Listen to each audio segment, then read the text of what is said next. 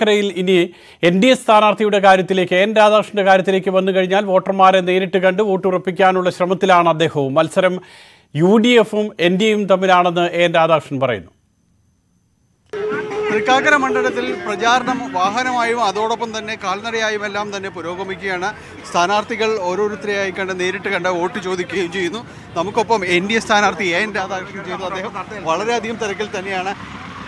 എത്രമാത്രം ആവശ്യം വരുന്നു ഈ അവസാന ലാപ്പിലേക്ക് എത്തുമ്പോൾ? നല്ല അന്തരീക്ഷമാണുള്ളത്. എല്ലാ ഭാഗത്തും നല്ല സ്വീകാര്യതയുണ്ട്. ജനങ്ങളിടയിൽ ജനങ്ങളുടെ ഇടയിൽ വലിയ മാറ്റമുണ്ട് പ്രത്യേകിച്ച് വലിയ വർഗീയതയാണല്ലോ രാജ്യം നടപ്പാക്കുന്നത്. ഇന്നലെ ആലപ്പുഴയിൽ നടന്ന് ഒരു കൈക്കുഞ്ഞനും തോളിലേറ്റി ആളുകൾ മരണപ്പെട്ട് കഴിഞ്ഞാൽ നടത്തുന്ന ക്രിയകളെക്കുറിച്ചാണ് ഇപ്പോൾ സംസാരിക്കുന്നത്. വേറെ ഭാഗത്ത് പി സി ജോർജിനെ അറസ്റ്റ് ചെയ്യാനുള്ള തയ്യാറെടുപ്പ് നടത്തി.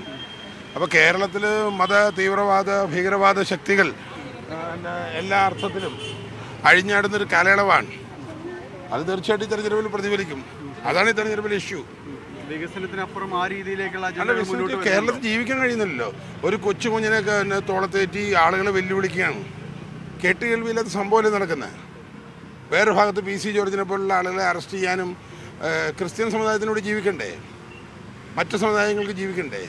ഈ ഇലക്ഷൻ സമയത്ത് തന്നെ ഇത്തരം കാര്യങ്ങൾ ഉയർത്തിക്കൊണ്ടിരുന്നതിലൊരു ബോധപൂർവമായ അജണ്ട ഉണ്ടെന്ന് വിശ്വസിക്കുന്നുണ്ടോ?